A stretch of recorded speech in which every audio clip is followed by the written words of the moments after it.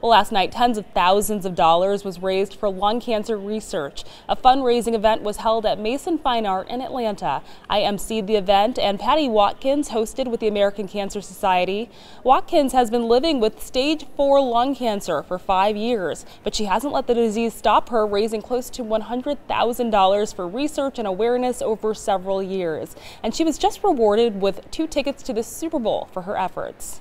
Thanks to research, which is what we need dollars for so much, and that's why we're here tonight is to raise money for research.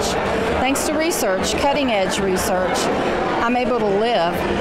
I'm able to see my daughter have her first child in, in March. Congrats, Patty. Well deserved. You are an inspiration to so many.